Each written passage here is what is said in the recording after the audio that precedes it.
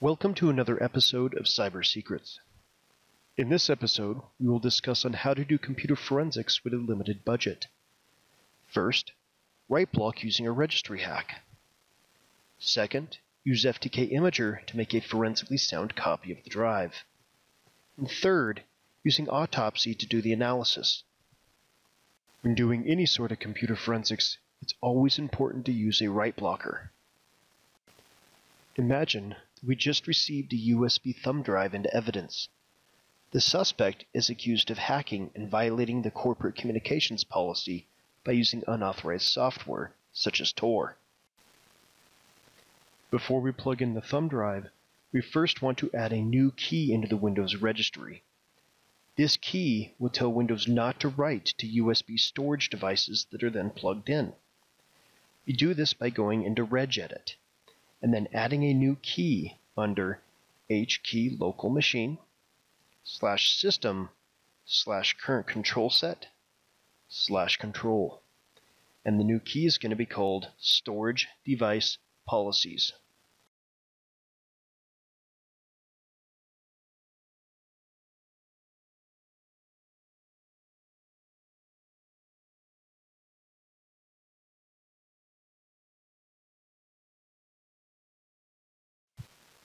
Now that the storage device policies key has been created, we need to create a DWORD value.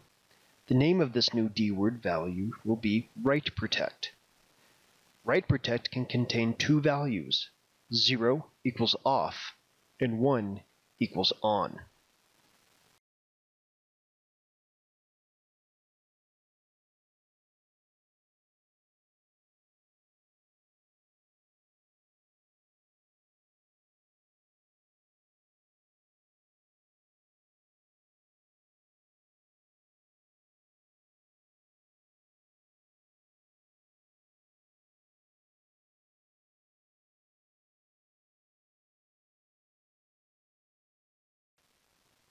To make a quick method for turning the write block on and off, we will export the key and save them to the desktop.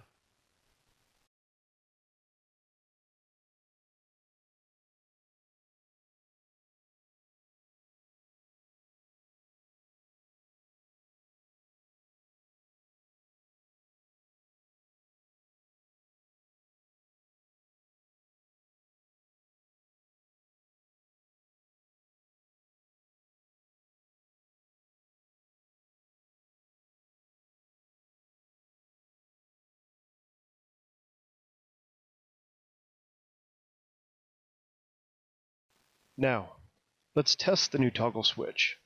Watch the registry value in the background as we run write protect on.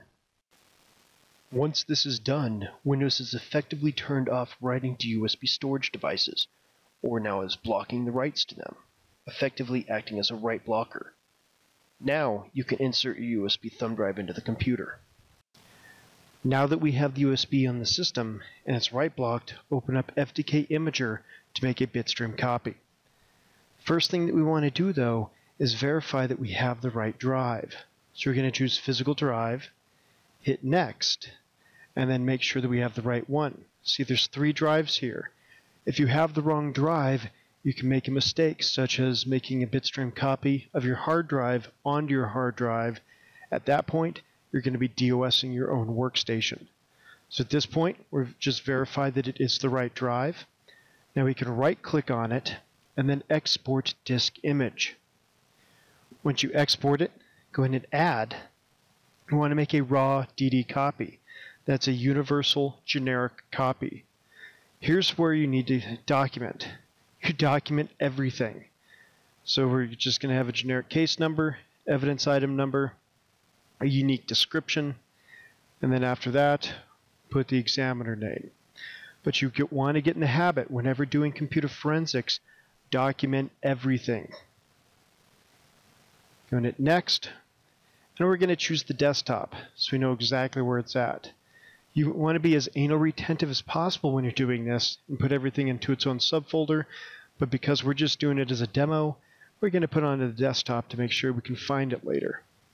Just call it Forensics Recovery. And on the image size, I like to choose 0 because this makes it to where it's no longer a split image. I'm going to finish, and then at this point, sometimes I do like to create a directory listing so I can look later at all the files that were copied. But this point, just go in it next and then start the imaging. The imaging takes a long time, so we're going to fast forward through this. Even though it's a 2 gig thumb drive, it still took several minutes. Now it's verifying. So what you want to do in forensics is document everything and verify everything. Once the verification is complete, it'll show us the MD5 hash. The computed hash and the reported hash, they're the same. The SHA hash, computed hash and reported hash, they're also the same. This is good. This is what we want to see. So let's go and close out of here. And then on the desktop, it's made a document file with a forensics recovery dd.txt. We'll open it up. This has all the information that you just added into it. It also has the computed hashes and the verification hashes and when it was acquired. This is important. Again, document everything when dealing with forensics. Let's go and close that FTK imager. Now we're going to open up Autopsy. Autopsy is a great free resource. It's one of the sayings you get what you pay for. This is free. You actually get a lot, even though it is free. So go ahead and start a new case. Once we start a new case, we're going to point it to that DD image that we just created with FTK. Go and start a case file. Again, document everything. Hit next. Again, case number, examiner. And if you look at the top left hand side, it just created a folder called 001.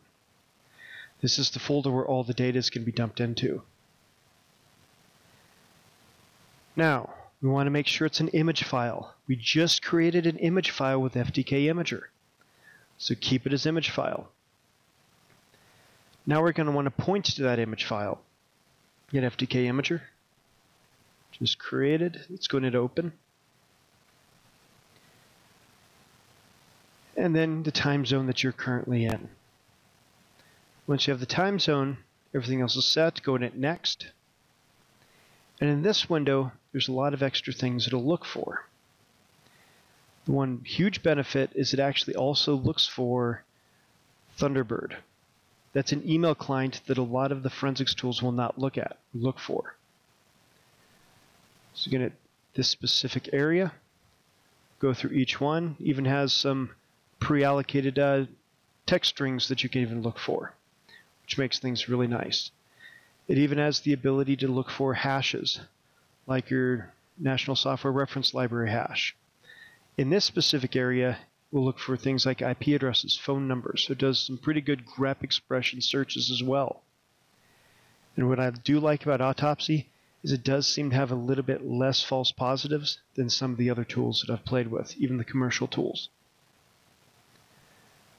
What this is doing though, in the data carving scope, is indexing. So if you've heard the term indexing from any of the other tools, it's basically what it's doing right now. We're also going to want to do the unallocated space in case anything was deleted.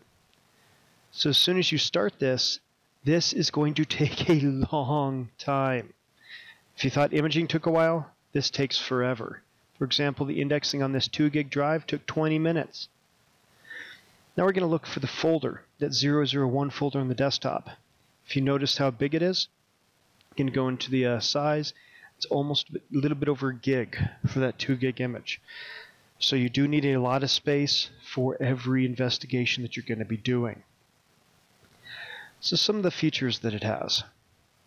You can preview the drive just by going up to the data sources, but it also has pre-allocated other items, such as if you see the number for the URLs, the email addresses, the IP addresses, and so forth. But one thing that I do really like about Autopsy, does it a little bit differently than some of the others, is the EXIF, or the metadata. So what EXIF is, that's extra information that they add specifically for graphics. You can even have location services in here. So take a, a pick on some of these items. For example, this one right here was a Nikon, took it. This one was a Canon camera that took that picture. Here's one from an Aris or an HTC Aris, and that specific one does have location services already inside of it, so your longitude, latitude. So this makes it really easy to verify when and where the picture was actually taken. So now we're going to preview the disk. So at the beginning of the this whole scenario, we were looking for any potential evidence of Tor traffic. Immediately, you already see Tor browsers already there. Um, anything that has an X on the image to the left-hand side, that means it's a deleted file. So we've already found some instances of Tor. We found a lot of deleted content, uh, some related to hacking, credit cards, fake IDs, things in that area. So even just undeleting.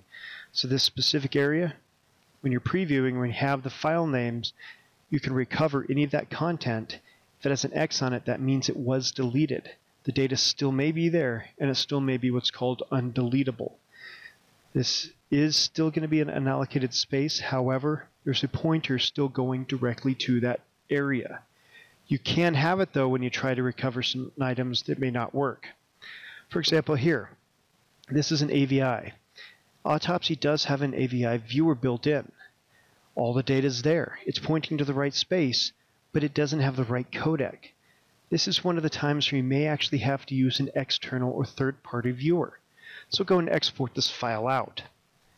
Once we export it out, we're going to use a program that I like called VLC Player.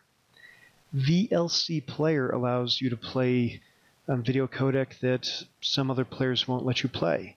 What's also nice about it is that VLC is also a little bit more lenient when it comes to damaged files. So if this file was corrupted in any way, you'll have more of a chance of being able to play it with VLC Player than you would with some of even the commercial tools out there. So we can see it opened up just fine, even though Autopsy was not able to, and some of the other forensics tools are not able to automatically as well.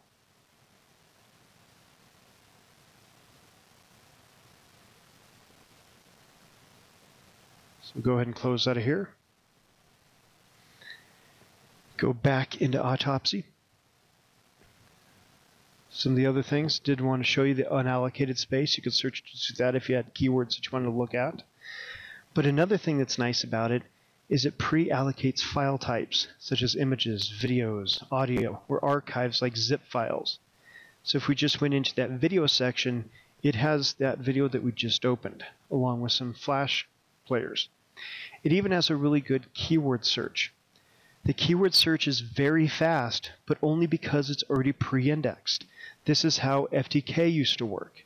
It would index first, then allow you to do the searching. Some of the other tools do not work that way and have it to where you can preview quickly or fast, but then you have to search and it takes a really long time to search.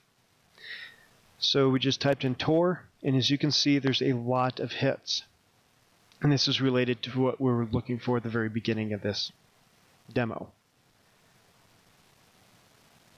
Some other targeted items, like IP addresses.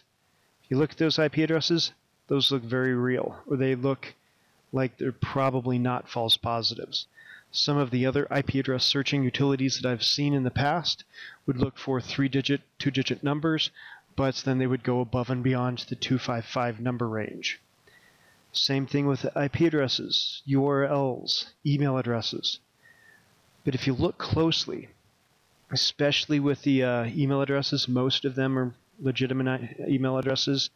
But when you look at the URLs, it even has .onion addresses. A .onion address is only found on the Tor browser network or the Tor network through onion routing. So this goes again back to what we are looking for at the beginning, any evidence of Tor traffic.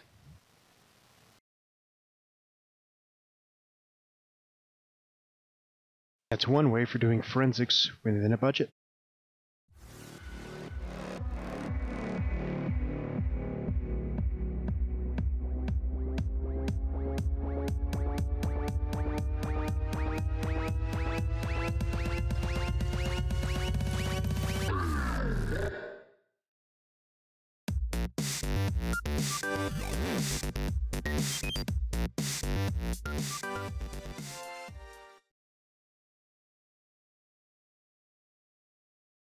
If you'd like to learn more about advanced information security, InfoSec Institute is a great resource at infosecinstitute.com.